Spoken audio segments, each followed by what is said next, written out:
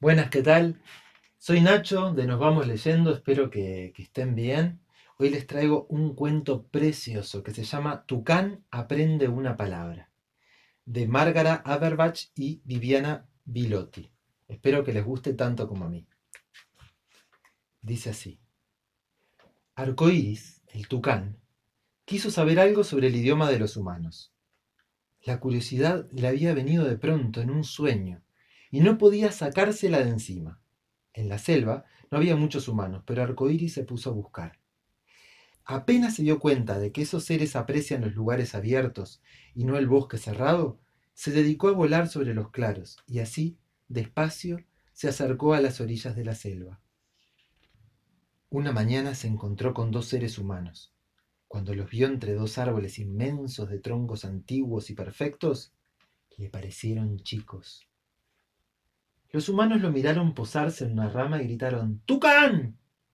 Arcoíris escuchó y pensó ¡Ah! Tucán quiere decir hola. Hola está bien para empezar una charla y Arcoíris tenía muchas ganas de charlar con los humanos. Bajó tres o cuatro ramas, porque las charlas son mejores cuando los que conversan están cerca. Pobre. Creía que había entendido, pero no. Los hombres eran cazadores. Lo miraron, sonrientes. Conocían la curiosidad de los tucanes. El pájaro siguió acercándose con las ganas de saber encendidas como luces en los ojos. Y de pronto ellos tendieron una sábana oscura sobre el bosque y lo atraparon. Ahí iba Arcoíris, empaquetado en una jaula de metal, hacia el mercado de la ciudad. A pesar de la angustia de los barrotes, prestaba mucha atención. La curiosidad de los tucanes no se rinde. Los hombres hablaban constantemente en medio del ruido melodioso que hacía con los labios. La palabra volvía una y otra vez. Tucán, tucán. A Arco Iris le dolieron las plumas cuando miró hacia atrás y vio desaparecer su selva. Pero siguió pensando y después de un rato entendió que se había equivocado. Tucán no quería decir hola, quería decir lo tenemos, lo atrapamos. Era una palabra triste. No servía para empezar una charla, era un final, no un principio. Unos días, varias jaulas y dos viajes después, Arco Iris terminó en una ciudad de tierra roja y caliente, en casa de dos cachorros humanos. La nena lo miraba todo el tiempo con ojos húmedos de amor deslumbrado. El varón lo señalaba con un dedo sucio de dulce. Los dos le traían grano y agua y siempre decían lo mismo. Tucán, Tucán. Con los días, Arcoíris empezó a pensar que se había equivocado de nuevo. Tucán no quería decir ni hola ni te atrapamos. Tenía que ser algo completamente distinto. Tal vez comida, te traemos comida. Era una palabra que sonaba a panza llena, a sueño, a siesta. Arco Iris vivió todo un mes en esa jaula.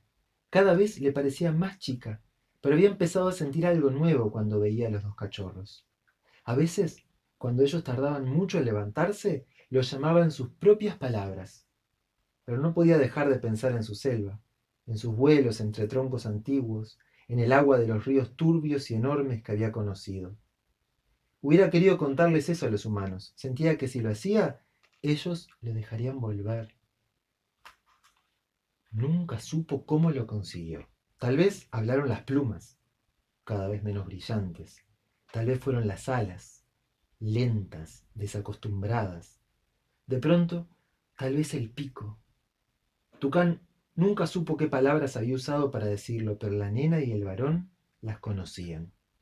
A veces se sentaban frente a la jaula y lo miraban. Un día entre los días vieron la tristeza inmensa de los colores del tucán prisionero. A la mañana siguiente, Arcoíris se despertó en la oscuridad del amanecer. No estaba acostumbrado a la noche y tuvo que esforzarse para entender lo que estaba pasando. La jaula se sacudía camino al jardín. Los chicos caminaban descalzos por el pasto verde profundo, tocado apenas por el rocío. No decían nada. Caminaron hasta el lugar en el que los árboles daban al gran río perezoso. Apoyaron la jaula en el suelo, dijeron casi al mismo tiempo, ¡Fuera, Tucán! y abrieron la puerta. Mientras volaba de vuelta hacia el refugio tibio, peligroso de la selva, Tucán empezó a entender. La palabra, la única palabra que entendía del idioma de los humanos, no significaba hola, ni te atrapamos, ni comida. Tucán tenía que querer decir adiós, o tal vez te queremos. El idioma de los seres humanos es maravilloso, pensó Arcoíris. Las palabras son como frutas maduras, guardan el mundo entero adentro. Y colorín colorado, este cuento se ha terminado.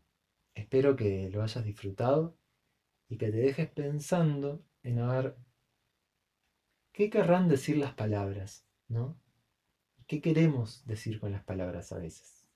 Muchas gracias, nos vemos la semana que viene aquí en Nos vamos leyendo.